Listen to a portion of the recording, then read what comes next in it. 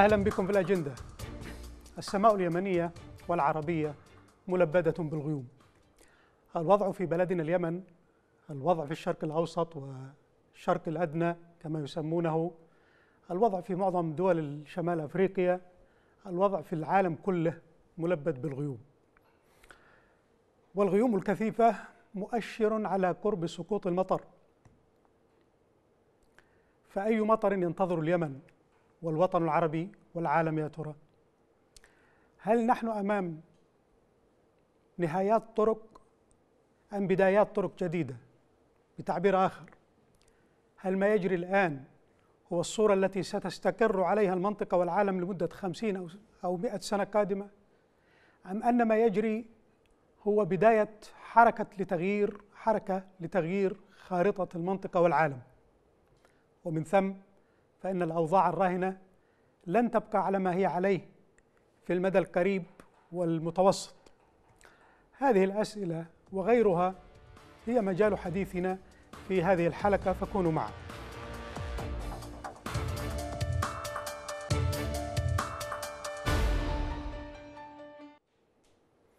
لا شك أن اليأس قد دب إلى قلوب كثير من اليمنيين في السنوات الأخيرة.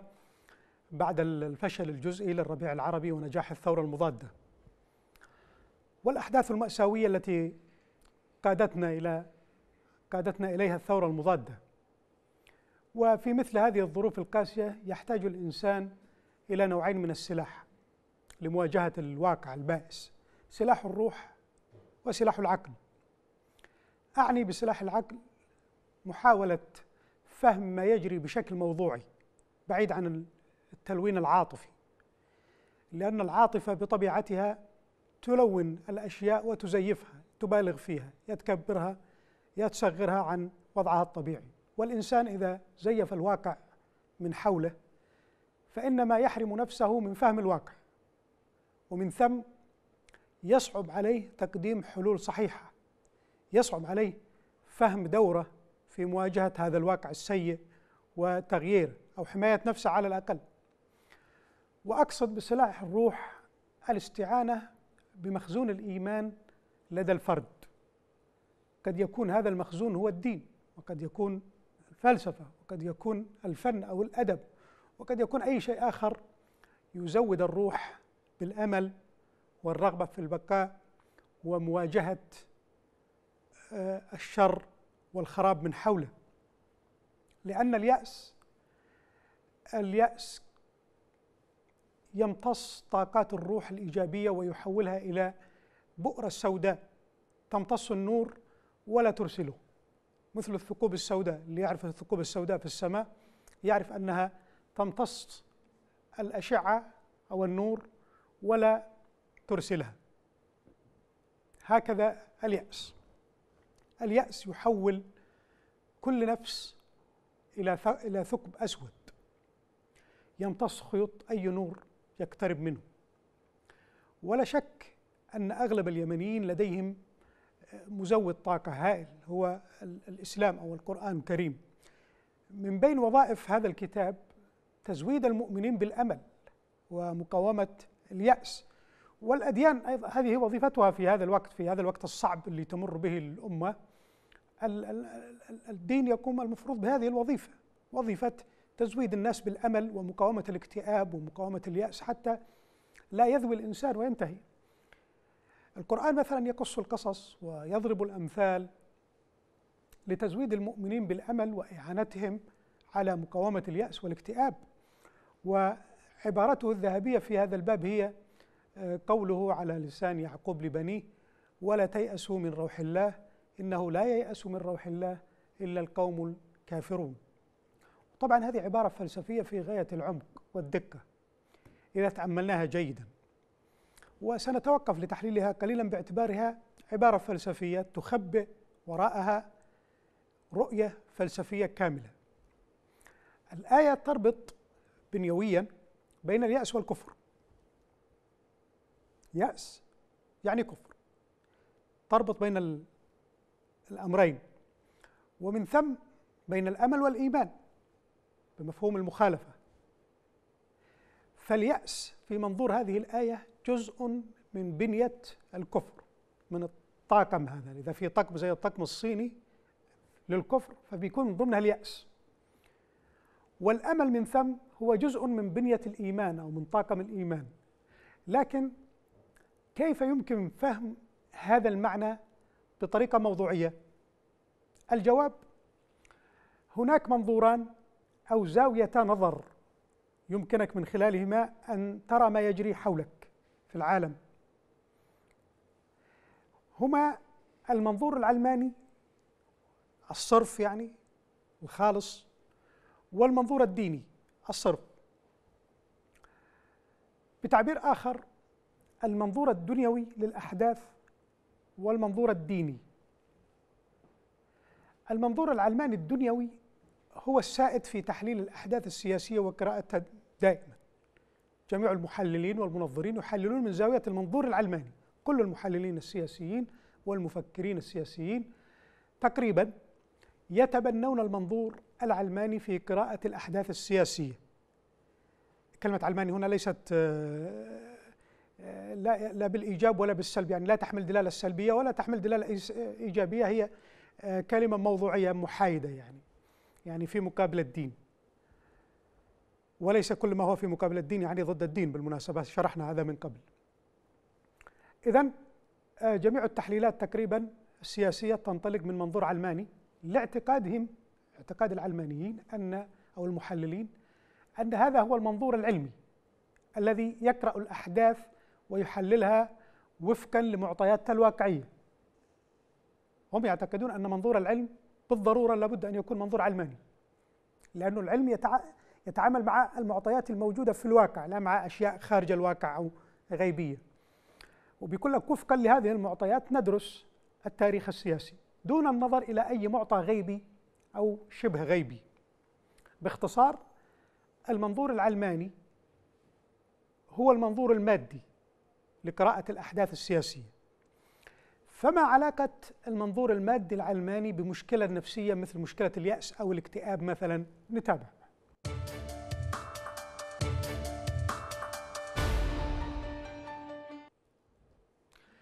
لو تأملت ما يجري حولك في بلدك وإقليمك والعالم اليوم من خلال المنظور العلماني ستجد أن كل شيء يسير من سيء إلى أسوأ. اليمن مثلا تتجه إلى التفكيك وتسلط الاستبداد والمشاريع البائسة وتحكم الاحتلال الأجنبي وهجرة العقول وضمور الروح اليمنية وانهيار حلم الدولة الديمقراطية المستقلة النامية. وعلى مستوى الإقليم هناك دول سقطت وتحولت إلى رماد مثل العراق وسوريا وليبيا إلى حد ما. وهناك دول موعودة بالسقوط بالمستقبل المتوسط أو البعيد مثل السعودية والإمارات. وهناك دول في حالة موت سريري مثل مصر. وهناك مؤشرات متزايدة على نشوب حرب شرق أوسطية كبيرة خلال سنوات قليلة يعني قادمة تشترك فيها كل دول الخليج ومعها مصر وإسرائيل في مواجهة تركيا وإيران وسوريا ولبنان على الأقل. هذا أيضا احتمالات لها معطياتها وممكن تشترك في هذه المعركة المتوقعة دول استعمارية كبيرة تلك الدول التي شاركت في سايكس بيكو قبل مئة سنة بالإضافة إلى أمريكا. إذا هذا كله بالمنظور العلماني. بالمنظور العلماني المادي المنطقة والعالم يتجهون إلى مزيد من الحروب إلى مزيد من المشاكل إلى آه، آه، مزيد من المظالم. التي لن ينكشع غيمها إلا بعد عقود من الزمن. وبنفس المنظور العلماني فإننا نحن أبناء الدول الضعيفة سنصبح علفا للمدافع يعني علف لمدافع الدول المتصارعة على ثرواتنا ومقدراتنا. المنظور العلماني وكل منظور علمي يعد منظور علماني بالضرورة كما يقولون يبشرنا بالمزيد من القهر ومن ثم المزيد من اليأس. هنا العلاقة بين المنظور المادي واليأس. ولأن الإلحاد يتبنى منظورا علمانيا بالضرورة فقد أصبحت العلاقة بين اليأس والإلحاد واضحة. ولهذا تقول الآية إنه لا ييأس من روح الله إلا القوم الكافرون. هذا هو فل... هذه هي فلسفتها. ولاحظ عزيزي المشاهد أني قلت الإلحاد يتبنى منظورا علمانيا ماديا ولم أقل أن كل منظور علماني هو منظور إلحادي. لا لأنه المنظور العلماني قد يكون بشروط معينة منظور ديني. يعني الدين نفسه قد يستعين بالمنظور العلماني في كثير من الأحيان في مواضع بعينها. ليس هذا مجال الشرح والتفصيل لكن المهم أن العلاقة بين اليأس وبين المذهب الإلحادي أصبحت واضحة. ومن ثم العلاقة بين الأمل وبين المذهب الإيماني واضحة أيضا. وهذا هو البعد الفلسفي لعبارة إنه لا ييأس من روح الله إلا القوم الكافرون كما قلنا. أي الكافرون بالبعد الغيبي في تشكيل الواقع. الكافرون هنا معناه آه كلمة مطلقة تعني الكافرون بالأبعاد الغيبية كلها. والروح في الآية معناه الفرج الذي يريح النفس روح روح الله يعني الفرج فرج الله. ونحن في هذه المرحلة المظلمة من تاريخنا الوطني والقومي العربي معرضون للإصابة بسرطان اليأس الذي يأكل الروح. ولا بد من مواجهة هذا الخطر بمختلف الأسلحة الممكنة. ما دام لديك أسلحة واجه. ومنها كما قلت سلاح الإيمان. سلاح الإيمان. ومن طرق المواجهة بسلاح الإيمان أن نقرأ ونتأمل المشهد السياسي الراهن بمنظور غيبي. يوازي يوازي المنظور العلماني. يعني نؤمن بمكر الله مثل ما يقول. ويمكرون ويمكر الله والله خير الماكرين. لازم نؤمن بأنه مثل ما هذه الدول وهذه المنظمات تمكر بالضعفاء وبالدول الضعيفة والشعوب الضعيفة. الله أيضا يمكر بطريقته الخاصة بها. ينبغي أن نؤمن بالبعد الغيبي هنا وهو المكر الإلهي دون أن نعطل القوى العقلية الموضوعية بالطبع دون أن نهمل معطيات الواقع الموضوعي. مطلوب منا أن نفتح فرجة للأمل طاقة للأمل.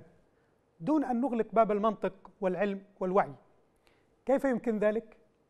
كيف يمكن أن يحدث ذلك؟ نتابع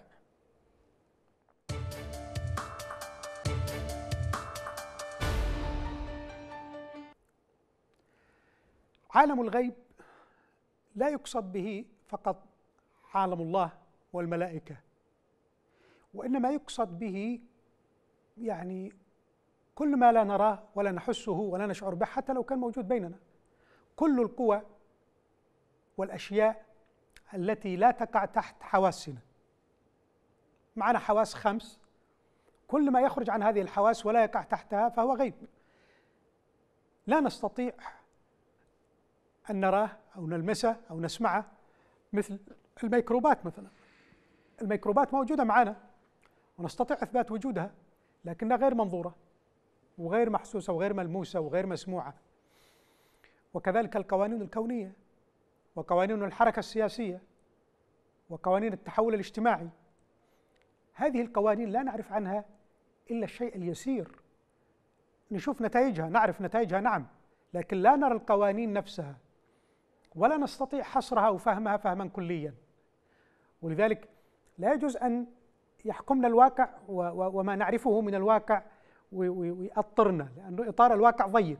القوانين التي لا نعلمها أشمل وأكبر من القوانين التي نعلمها والمعطيات التي لدينا أقل بكثير من المعطيات التي ليست لدينا. يعني المعطيات اللي في عالم الغيب أكثر بما لا يقارن وبما لا يقاس من المعطيات التي في عالم الواقع. ومن ثم لا يجوز أن نكفر بعالم الغيب لأنه قد يكون هو الذي يتصرف آه، آه، في عالمنا أكثر ممن ندرك. نعرف أن هناك مثلا قوانين لصعود الدول والمجتمعات وقوانين لسقوطها. القرآن يسميها سنن لكن العلماء لا يعرفون عن هذه القوانين إلا الشيء اليسير. علماء التاريخ علماء السياسة علماء الفلك علماء إلى آخره.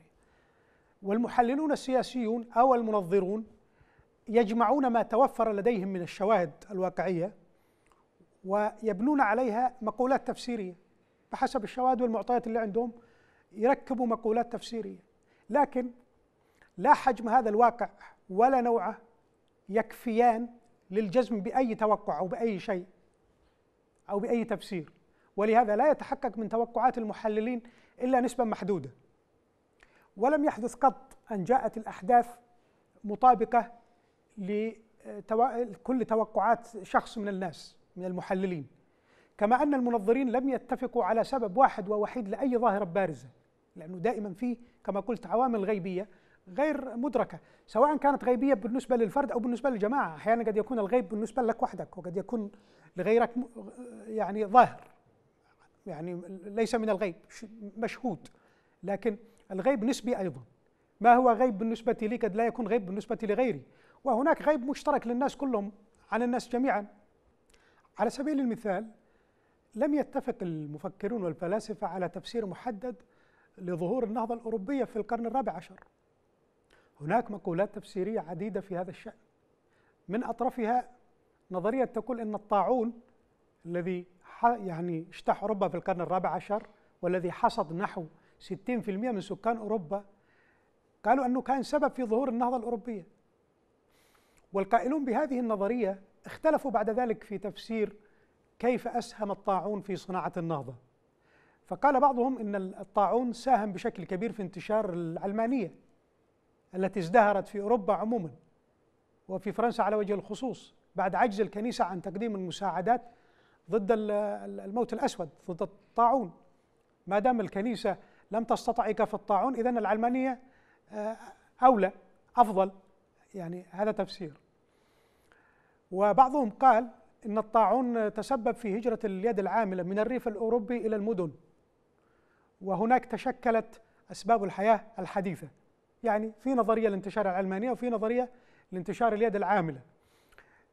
الشاهد لو صح هذا الكلام لو صح هذا التأويل إنه الطاعون كان وراء النهضة فهذا معناه إنه المصائب أحيانا قد تكون أسباب للنجاح. قد تكون مأساة اليمنيين اليوم سببا في تأسيس الدولة اليمنية الحديثة التي تليق بهم في المستقبل. حجم الدروس التي تراكمت لدينا نحن اليمنيين خلال هذه الفترة والتي قبلها حجم الدروس يؤهلنا لتأسيس دولة يمنية قوية في المستقبل.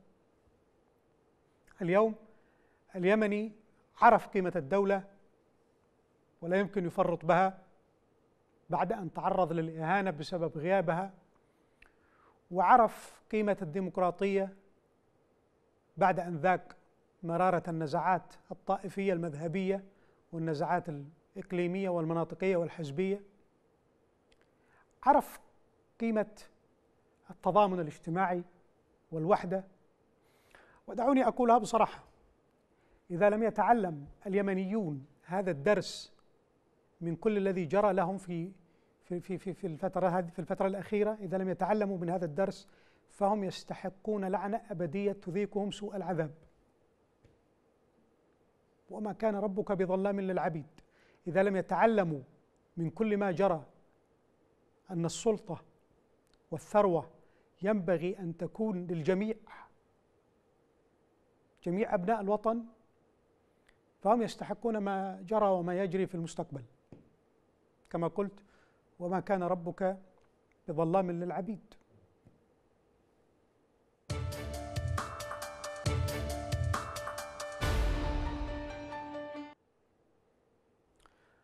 اردت القول من هذه المقدمات الطويله إن الغيب قد يخبئ لنا ما يسرنا في المستقبل ويعوض تعبنا وتضحياتنا وقد يشفي صدورنا ممن تآمر علينا وحاول إذلالنا وتمزيقنا ونهب مقدراتنا من الداخل والخارج.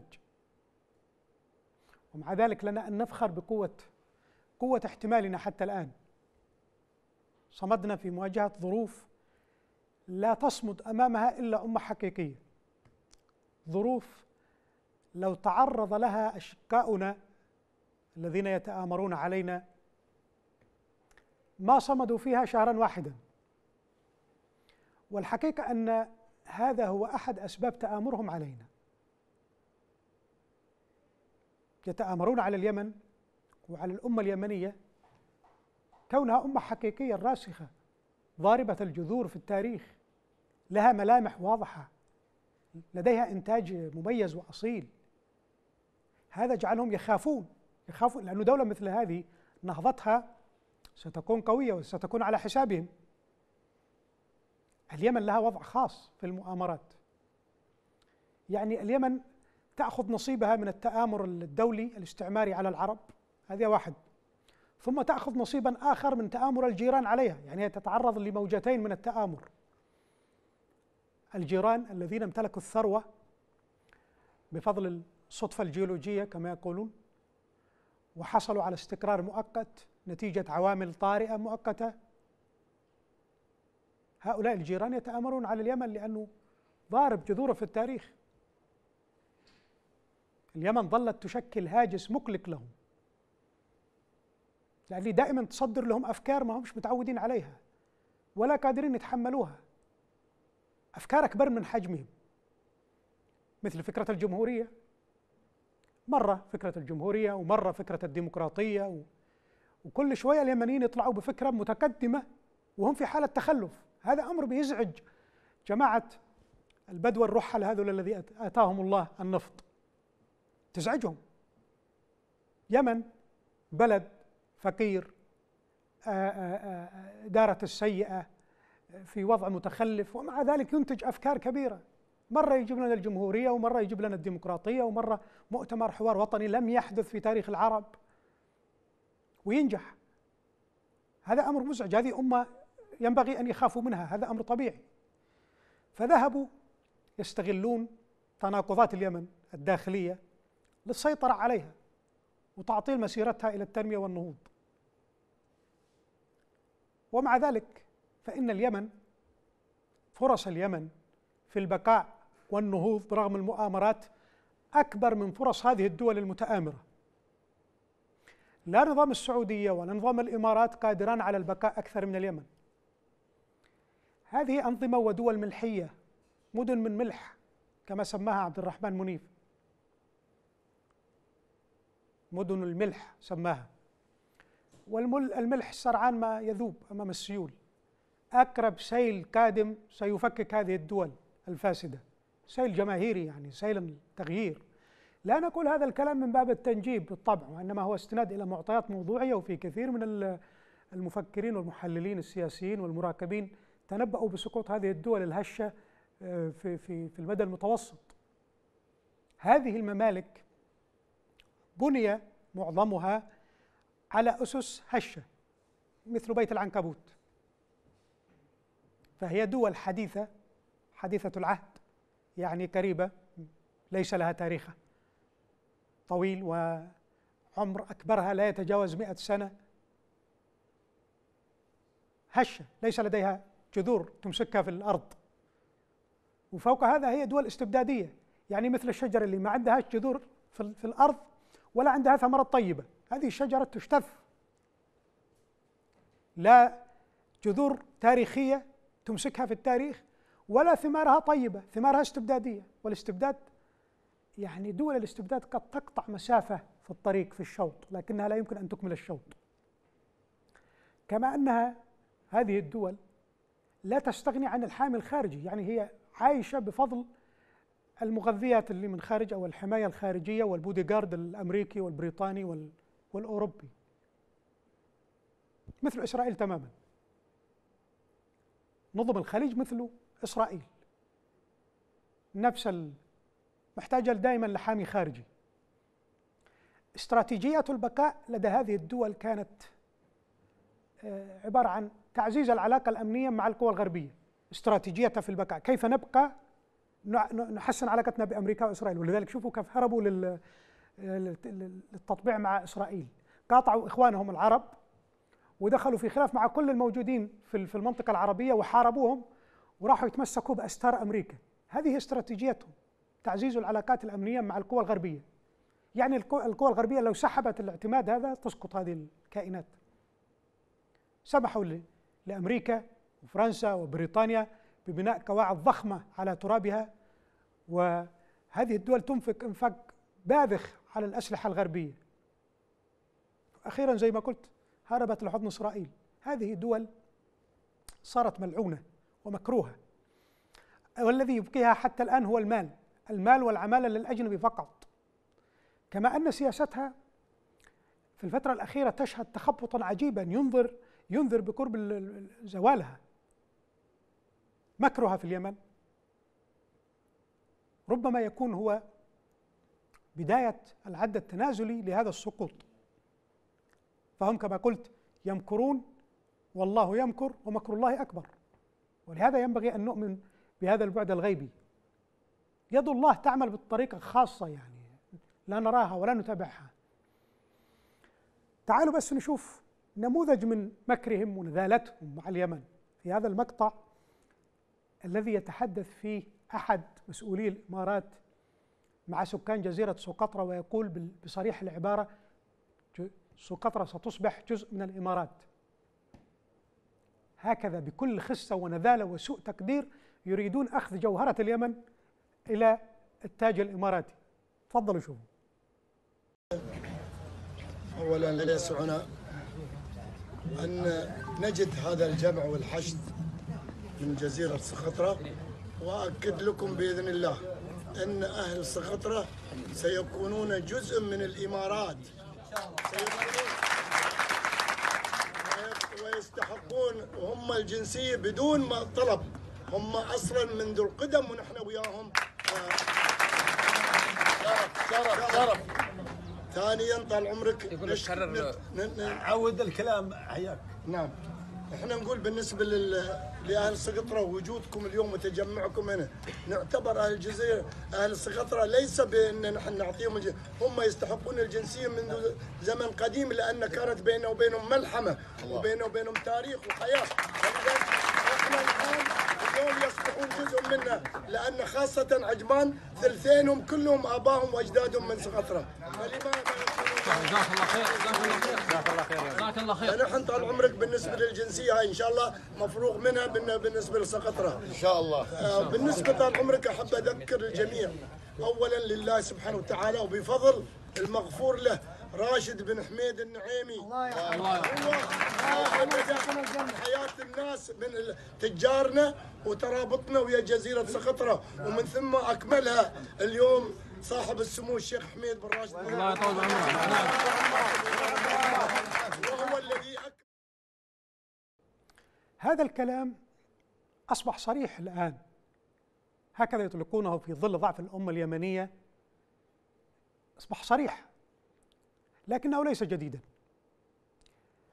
فقد كان نظام الإمارات كما يعلم الجميع يحقق بعض أمنياته ومطامعه في اليمن عبر حليفه السابق علي عبد الله صالح.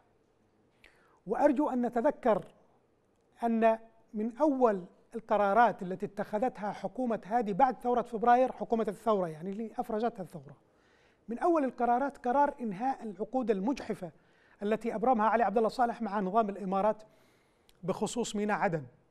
أعطاهم عدن علشان يعطلوا الميناء لصالح ميناء دبي شركة موانئ دبي.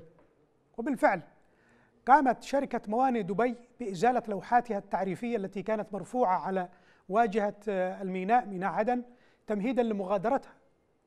وحنشوف الآن مقطع مصور وشركة آه، موانئ دبي يعني تزيل اللوحات التعريفية الخاصة بها. هذا المقطع يعود إلى 24 ديسمبر عام 2012 2012 تعالوا نشوف.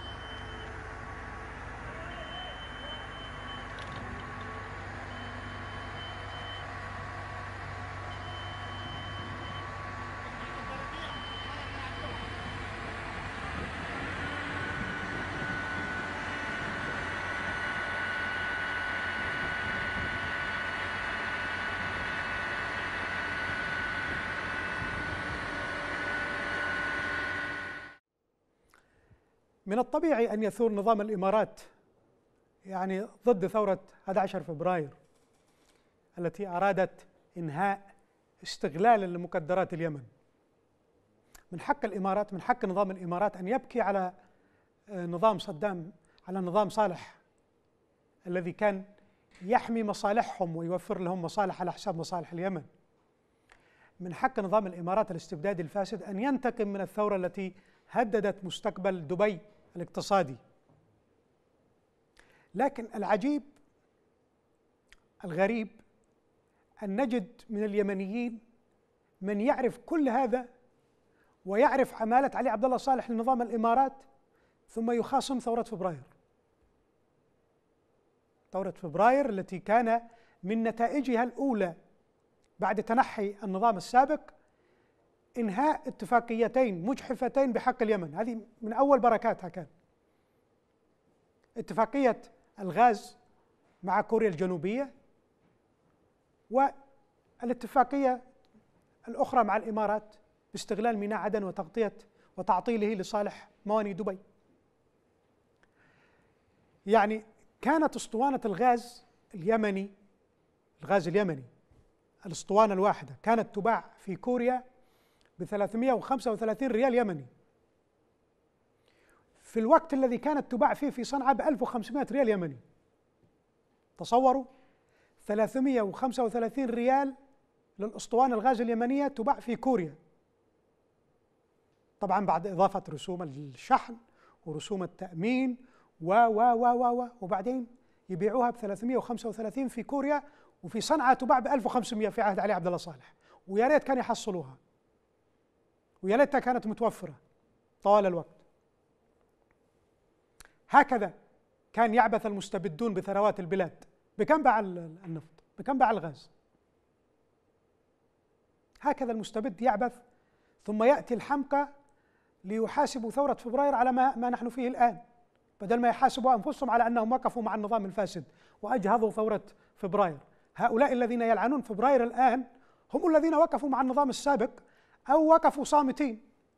ومع ذلك يريدون تحميل الثورة. مسؤولية ما نحن فيه. لا تحميل أنفسهم. خذلان محاولة اليمنيين لعبور المضيق. كان علي صالح يبيع مليون وحدة حرارية من الغاز. مليون وحدة حرارية يبيعها بكم؟ بثلاثة دولارات. لكوريا وبدولار واحد لشركة توتال الفرنسية. في حين أنه أسعارها الدولية كانت آنذاك من 11 إلى 12 دولار. ثم جاءت ثورة فبراير وأرغمت الحكومة الجديدة على تعديل كل هذه الاتفاقيات من ثلاثة دولارات ومن دولار واحد إلى 14 دولار لكل مليون وحدة حرارية. شوف الفرق.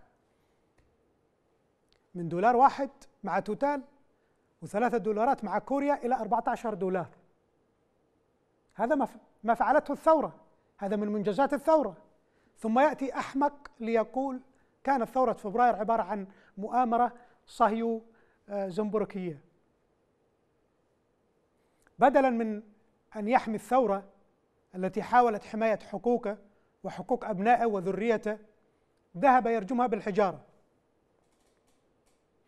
طبعا الثورة فعلت كل هذا وهي ما زالت في لحظة ضعف شديد. لم يكن لديها دولة حقيقية ولا كان لديها نظام ولا جيش ولا أمن.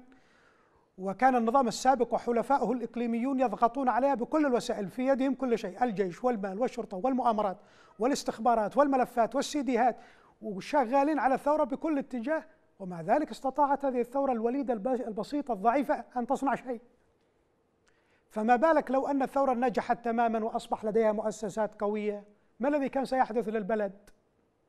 طبعا الجواب يعرفه النظامان السعودي والإماراتي تحديدا لأنهم أكثر المتضررين من من وجود يمن قوي بإرادة شعبية حقيقية. ولهذا عزموا فورا على آه، إجهاض الثورة وعلى توريط اليمن في أسوأ الخيارات على الإطلاق. راحوا يدعموا حليفهم السابق في البداية قدر الإمكان خصوصا نظام الإمارات. ولما عجز عميلهم صالح عن الصمود عززوا بالحوثي. رموا اليمن بقنبلة برصاصة الإمامة. وهي أخطر رصاصة ممكن أن ترمى بها اليمن. وبعدين بذريعة مساندة الشرعية ومقاومة إيران دخلوا يسيطرون على موانئ اليمن وثرواته ومقدراته. وهم الآن يعززون شروط الانقسام والتشظي اليمني من خلال إنشاء أحزمة أمنية متفجرة في وجه اليمن الموحد ومن خلال منع الدولة من العودة الدولة الشرعية ومن خلال إثارة النزاعات المناطقية ومحاربة القوى الوطنية اليمنية التي آه، آه، يمكن أن تقف في وجه مخططاتهم. هذا ما يفعله الجيران وهذا ما فعلته الثورة وهذا ما يقوله آه، أصحاب الثورة المضادة الذين خذلوا الثورة في البداية ثم عادوا يرجمونها بالحجارة اليوم.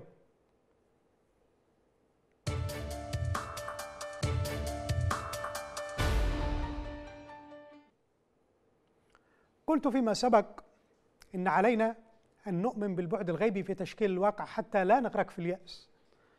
أقصد علينا أن نتوقع حصول آه، شيء من خارج المتوقع خارج المألوف. شيء لا تبشر به المعطيات المنظورة. شيء قد يتشكل الآن ربما يتشكل الآن في بطن الحياة مثل ما الجنين لكننا لا نستطيع مراقبته وملاحظته. ربما هناك أشياء تتشكل الآن في باطن هذه الحياة وباطن هذه الدوامة. نحن في دوامة. سبق وأن تحدثنا في هذا البرنامج عن نظرية علمية سموها نظرية جناح الفراشة. البسطاء.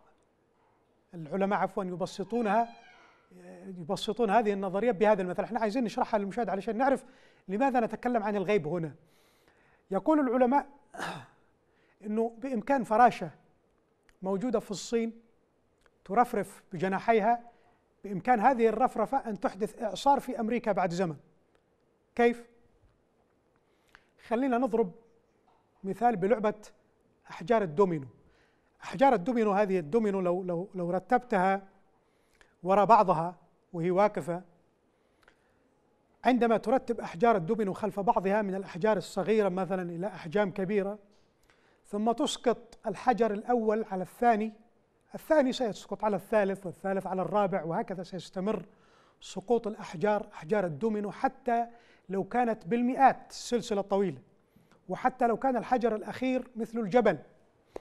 أحداث صغيرة تقع الآن في عالمنا ربما لا نلاحظها قد تغير مجرى أحداث الأحداث في العالم على طريقة أحجار الدومينو هذه على طريقة رفرفة الفراشة. ما هي رفرفة الفراشة؟ بتحدث مجال خفيف من حولها هذا المجال الكهرومغناطيسي بيحدث مجال أكبر منه شوية وهكذا يظل يتسع ويتسع ويجد مؤثرات معينة حتى يصل إلى في نهاية المطاف بعد سنة سنتين ثلاث إلى إعصار مثلا في في في أمريكا في الشواطئ الأمريكية كما يقول العلماء. ومثلما أن للشر أصحابه للخير أصحابه أيضا. هذا العالم خلقه الله وأودع فيه تناقضات تجعل من المستحيل السيطرة عليه من قبل طرف واحد. مهما كانت قوى الشر والتآمر قوية ومتمكنة لكنها لا تستطيع أن تسيطر على كل شيء. لابد أن تفلت من يدها بعض الخيوط. لابد أن تترك خلفها الكثير من الثغرات. وخاشقجي أقرب مثال. ومن هذه الثغرات يأتي مكر الله. الله يمكر بهم من هذه الثغرات التي يتركونها. الحياة وفقا للتصور الإسلامي تبدو وكأنها منظومة قوانين تفاعلية. بعضها منظور وبعضها غير منظور. صممت هذه القوانين بحيث تساعدك تساعدك إذا سبحت مع تيارها الطبيعي إذا مشيت مع الصراط المستقيم. وتغالبك إذا سبحت عكس هذا التيار.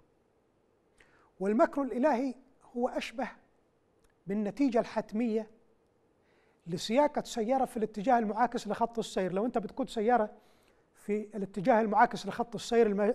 الناس ماشيين كذا وأنت ماشي عكس. أنت إذا كنت سي... سواق بارع ماهر قادر على تجاوز الحوادث ممكن تمشي مسافة طويلة. ممكن تخرج بسلام من خط السير إلى مسافة معينة. لكن لا تستطيع أن تصل إلى النهاية. لابد أن تدخل في حادث. المسافة التي يقطعها الشر في تحقيق أهدافه قبل أن يحل به مكر الله مثل هذه المسافة التي يقطعها السائق الماهر في خط السير العكسي قبل أن يحل به حادث مروري مؤسف. وما يسميه القرآن مكر الله ما يسميه مكر الله يمكنك أن تطلق عليه ما شئت من الأوصاف الوضعية. على طريقة شركات السجائر والأدوية لما تسميه آه، كنت مارلبورو لكنه في النهاية يعني تبغ. إحنا ممكن نسميه مكر الله وغيرنا ممكن نسميه بأسماء أخرى. لكنك في النهاية مضطر للاعتراف بوجوده. ممكن تستعين بالنسبية مرة وبالاحتمالات الرياضية مرة أخرى لكنك ستعترف في النهاية. مكر الله قادم. ويعمل في هذه الأثناء بهؤلاء الذين يتآمرون باليمن. علينا ألا نفقد الأمل في روح الله. وإلى هنا تنتهي حلقة اليوم. نلقاكم في الأسبوع القادم في أمان الله.